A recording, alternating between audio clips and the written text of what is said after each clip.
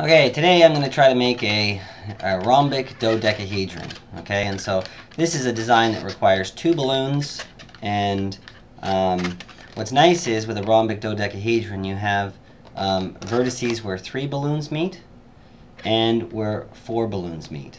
And so what's nice here is that you can see that in this design all of the ones that are three are monochromatic or all the same color, and then all the ones that are four are two different colors okay? And so diagrammatically, here's what it looks like, okay? You have uh, the one balloon being traced out here, uh, say one, two, three, four, five, six, and then you go through the center, seven, eight, nine, ten, eleven, and then 12, okay? And so let's see if I can make it now, okay? So, of course, the diagrams are nice and easy to follow, but when you're doing with 3D things, of course, it's a little bit more tricky. And so I'm going to first make five segments. One, two, three, four, five. And now I'm going to make sure they, they don't unwind here by making five segments for the other one. Okay, so there's one, two,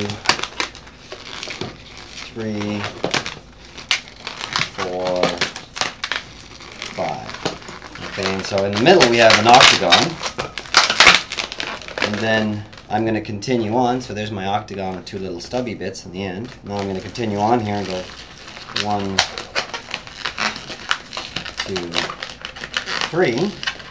And I make a square here at the end. Okay, and now I do the same thing with the black balloon here. Make a square, but now these two squares are going to interconnect. And so I got to pull the black one through this yellow one, like so. So it goes through the other one, and then they connect up here. And now I've got to bring it back down to form the square, like so. Okay, and I'm going to continue on and then tie it to this one, two, three balloon here.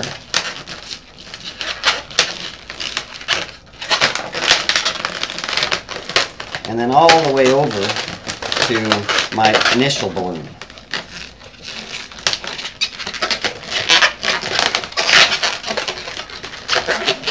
Okay, and then with the yellow balloon, I do the same thing. One, two, three. I connect this one, and I'm now bringing it around. Okay, little small maybe. Bring it around through here. Oh, I gotta retie that one. And then around here, the fourth, and then tying it up with the last one. First I'm gonna see if I can reconnect this guy up again. Up. A little bit of pressure here, so I gotta make sure it doesn't come apart like it did last time. So I'm gonna bring it around this time twice or three times. Okay, and so now this yellow one does the same sort of thing, ties up at the end.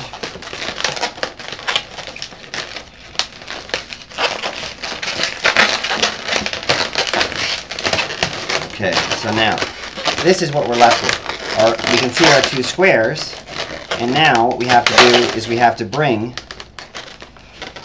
uh, one, two through the square. Our little yellow guy. Like so. Similarly with the black one. One,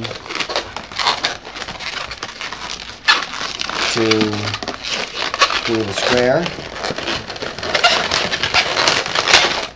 And now it's just a matter of finishing it off here with one here around that spot and then like so. Same with the yellow.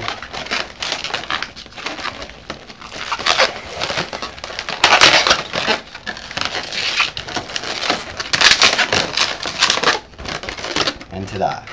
We end up with another rhombic project And so some you may have to massage a little bit to make sure the connections are the right angles. Um, I could have done a little bit better job at making all the segments equal, but essentially it's the right geometry. Okay, so you can see nice threes, threes, and fours. Um, and of course, the more uh, equal the segments you make it, the more it's going to look like a sphere. Okay, so there's a, a rhombic dodecahedron. Now, if, if you kind of like the a tighter design, uh, so it looks less hollow on the inside, instead of using a 260 balloon, you can use um, the 360s. And so here, um, you can see it's the same design with the threes and the, and the four connections. Um, it's just much tighter, and so it, it's perhaps a little bit more impressive.